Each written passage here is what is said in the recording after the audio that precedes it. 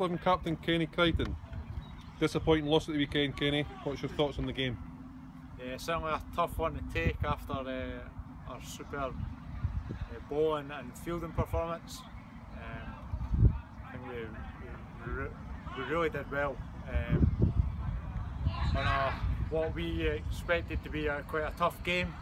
Um, obviously in the end it was a tough game and, and we lost it, but um, for us to, to only be chasing a target at 96, um, we are certainly pleased at the halfway mark. Um, then to go out and, and really struggle um, with Chris Greaves and um, Gotham Rye uh, scoring in double figures um, was a tough one to take at the end of the game. So this week, double header, Kenny. Um, first up, a tough trip to Carlton on Saturday. Thoughts ahead of that game?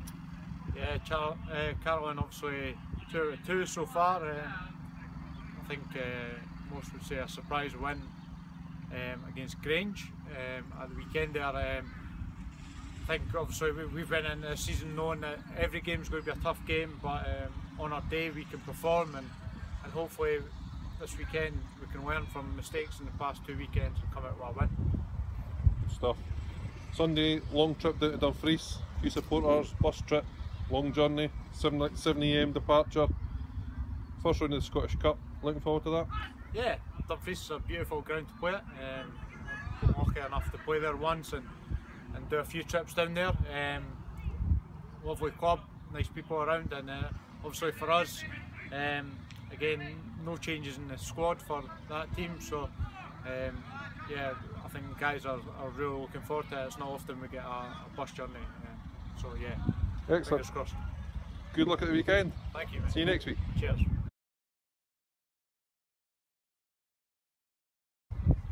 Right, here we have Ali Sim standing in for Scott Lucas, second 11 captain this week. Last week's match was postponed, so first match of the season was on Sunday against Carlton in Edinburgh. An excellent win to kickstart the season. What's your thoughts on the game, Ali? Well, first of all, the sun was shining, which is always good. Um, I thought it was, uh, well, it's the first run out the seconds I've had in the league, which was great. Last week we were snowed off, which again was odd at this time of year. But uh, I thought it was a good performance. We had a few uh, new faces in the team. And uh, yeah, we played against quite a, a youthful but pretty uh, talented Carlton side, so very happy with the result. Good. This week, home match against top of the table and 100% team Boroughmuir. We're also 100%. Of course, 100% with one game, Burnham, you're 100% with two games. What's the thoughts and plans for this one? Well, it's at home, so we've had a little look at the wicket uh, today.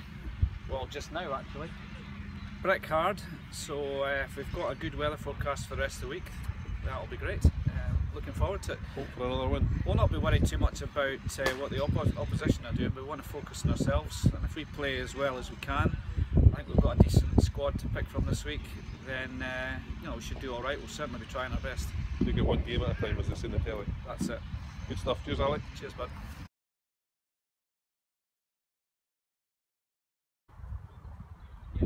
Okay, here we have Eddie Gibbs, the replacement for Fun Bus 4th 11 captain Ian Green.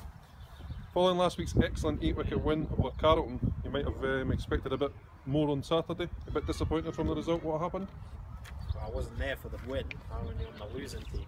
But the uh, I think they faced a team in Murrayfield DAFS that had some good bowlers and they were swinging it. And uh, I don't think the breeze impacted it much. There was a bit of wind about, but I think that the uh, they came down from the league before after a tough season last year, and I think the, the uh, they just showed that they were the better team on the day with the bowling. And uh, I think in the middle of the innings we lost four wickets in an over, a run out, and a couple bowled from newer players to the team, and it just sort of descended into a collapse that we never recovered from.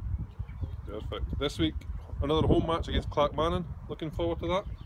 As a team that the Forths beat last season in the game away there.